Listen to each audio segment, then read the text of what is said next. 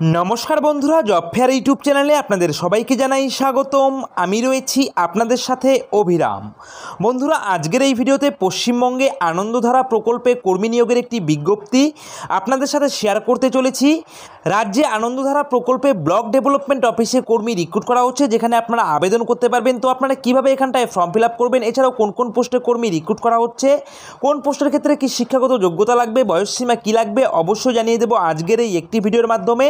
তো ভিডিওটিকে স্কিপ না করে সম্পূর্ণ ভিডিওটি দেখার চেষ্টা করবেন, আর ভিডিওটি ভালো লাগলে অবশ্যই ভিডিওটিতে একটি লাইক করে দেবেন, কমেন্ট করে দেবেন, শেয়ার করে দেবেন, আর চাকরি সংক্রান্ত যে কোনো আপডেট সবার আগে পাওয়ার জন্য অবশ্যই আপনারা আমাদের এই জব ফেয়ার ইউটিউব চ্যানেলকে সাবস্ক্রাইব করে দিয়ে পাশে থাকা বেল আইকনটিকে বাজিয়ে দেবেন, আর একদম বিনামূল্যে সরকারি চাকরির প্রস্তুতির জন্য আপনারা আমাদের সঙ্গে টেলিগ্রাম গ্রুপে যুক্ত হয়ে যেতে পারেন, আমাদের এই ভিডিও ডিসক্রিপশনে আমাদের টেলিগ্রাম গ্রুপের লিঙ্ক দেওয়া রয়েছে, ঠিক আছে? তো বন্ধুরা, চলুন, এবারে আমরা চলে যাব সরাসরি প্রকাশিত হওয়া অফিসিয়াল নোটিফিকেশানে তো বন্ধুরা, আমরা চলে এসেছি সরাসরি অফিসিয়াল নোটিফিকেশন আপনারা অন স্ক্রিন দেখতে পাচ্ছেন, এখানটায় আনন্দধারা প্রকল্পে কর্মী রিক্রুট করা হচ্ছে এবং এখানটায় দেখুন কোন পোস্টে কর্মী রিক্রুট করা হচ্ছে।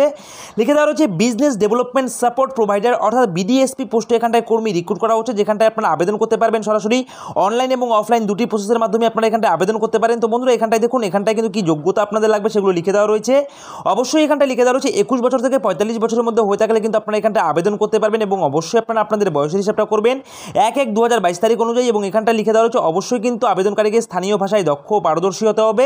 সঙ্গে লিখে দেওয়া রয়েছে, অবশ্যই আবেদনকারীকে কিন্তু স্নাতক উত্তীর্ণ হতে হবে। অর্থাৎ এখানটায় গ্র্যাজুয়েশন ডিগ্রি কমপ্লিট করা থাকলে আপনারা এখানটায় আবেদন করতে পারবেন। সঙ্গে লিখে দেওয়া রয়েছে, আপনারা যদি গ্র্যাজুয়েশনে যদি বাণিজ্য শাখায় যদি আপনারা গ্র্যাজুয়েশন ডিগ্রি কমপ্লিট করে থাকেন, তাহলে আপনারা এখানটায় অগ্রাধিকার পেয়ে যাবেন। অথবা আপনারা যদি এখানটায় শুধুমাত্র গ্র্যাজুয়েশন পাস করে থাকেন অন্য কোনো শাখা থেকে, তাহলেও আপনারা এখানটায় আবেদন করতে পারবেন।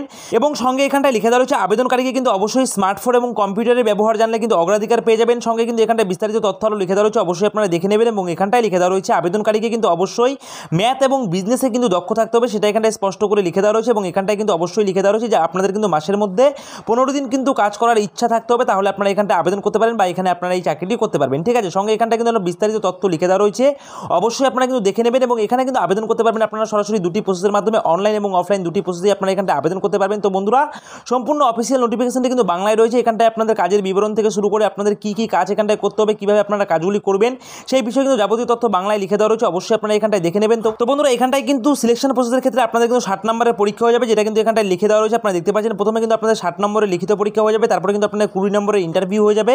তো এখানটায় কিন্তু সিলেবাস লিখে দেওয়া রয়েছে, তিরিশ নম্বর তিরিশ নম্বর করে কিন্তু অঙ্ক এবং লজিক থেকে কিন্তু আপনাদের কোশ্চেন থাকবে, সেগুলো কিন্তু পরীক্ষা হয়ে যাবে ষাট নম্বরে। সেই ষাট নম্বরের পরীক্ষায় পাস করে যাওয়ার পর আপনাদের কুড়ি নম্বরের ইন্টারভিউ হয়ে যাবে এবং সেই কুড়ি নম্বরের ইন্টারভিউ পাস করে যাওয়ার পর কিন্তু আপনারা এখানটায় চাকরি পেয়ে যাবেন এবং আপনাদের যে এখানটায় রিটেন টেস্টটি নেওয়া হবে, সেই রিটেন টেস্টে কিন্তু কমপক্ষে আপনাদের ষাট পার্সেন্ট নাম্বার কিন্তু আপনাদের পেতেই হবে। তাহলেই কিন্তু আপনারা এখানে ইন্টারভিউর জন্য ডাক পাবেন। তো বন্ধুরা, এরপরে দেখুন, এখানটায় আপনারা আবেদন করবেন কী করে? ঠিক আছে? তো বন্ধুরা, আবেদন করার জন্য আপনারা কী করবেন?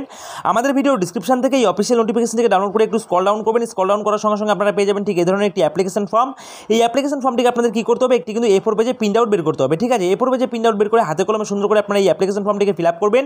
ফিল আপ করার পর কিন্তু আপনারা দুটি প্রসেসের মাধ্যমে এখানটা আবেদন করতে পারেন। অর্থাৎ এখানটা অনলাইন এবং অফলাইন দুটি প্রসেসে আবেদন করতে পারেন। এবং এখানটায় কিন্তু আবেদনের লাস্ট ডেট দেখুন। লাস্ট ডেট লিখে দেওয়া হচ্ছে আঠারো ছয় দু হাজার বাইশ, অর্থাৎ আঠারোই জুন দু হাজার বাইশ তারিখ পর্যন্ত আপনারা এখানটা আবেদন করতে পারবেন। সকাল এগারোটা থেকে বিকেল পাঁচটা পর্যন্ত। এবং এখানটায় লিখে দেওয়া হচ্ছে আপনারা কিন্তু সরাসরি কিন্তু নির্দিষ্ট অফিসে গিয়ে কিন্তু আপনারা আপনাদের অ্যাপ্লিকেশন ফর্মটিকে সাবমিট করতে পারেন। অথবা এখানটায় কিন্তু আপনারা যে অ্যাপ্লিকেশন ফর্মটিকে কিন্তু প্রিন্ট আউট করে বের করবেন, তার সঙ্গে যাবতীয় ডকুমেন্ট অ্যাটাচ করে দিয়ে কিন্তু আপনারা একটি সিঙ্গেল পিডিএফ ফাইল বানাবেন। সিঙ্গেল পিডিএফ ফাইল বানিয়ে এখানটায় কিন্তু একটি মেল অ্যাড্রেস লিখে দেওয়া হচ্ছে আপনারা দেখতে পাচ্ছেন, এই মেল অ্যাড্রেসে কিন্তু মেল করে দিতে হবে।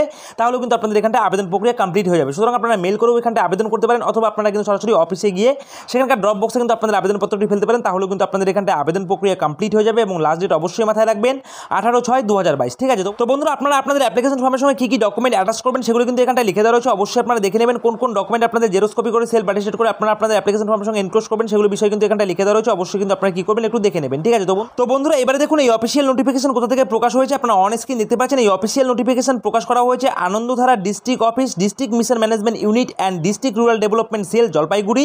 এবং এই অফিসিয়াল নোটিফিকেশন পাবলিশ হওয়ার ডেট আপনারা অন স্ক্রিন দেখতে পাচ্ছেন এবং এখানটায় আপনারা মেমো নম্বর অন স্ক্রিন দেখতে পাচ্ছেন। তো বন্ধুরা, আপনারা যদি এখানটা জলপাইগুড়ি জেলার ময়নাগুড়ি ব্লকের স্থায়ী বাসিন্দা হয়ে থাকেন, তাহলে আপনারা এখানটা আবেদন করতে পারবেন। অর্থাৎ এখানটায় ময়নাগুড়ি ব্লকের আন্ডারে কিন্তু রিক্রুট করা হচ্ছে। সুতরাং আপনারা যদি এখানটায় জলপাইগুড়ি জেলার ময়নাগুড়ি ব্লকের স্থায়ী বাসিন্দা হয়ে থাকেন, তাহলে আপনারা এখানটা আবেদন করতে পারেন। তো বন্ধুরা, এই ছিল কিন্তু আজকের ভিডিও। ভিডিওটি ভালো লাগলে অবশ্যই ভিডিওটিতে একটি লাইক করবেন, কমেন্ট করবেন, শেয়ার করবেন।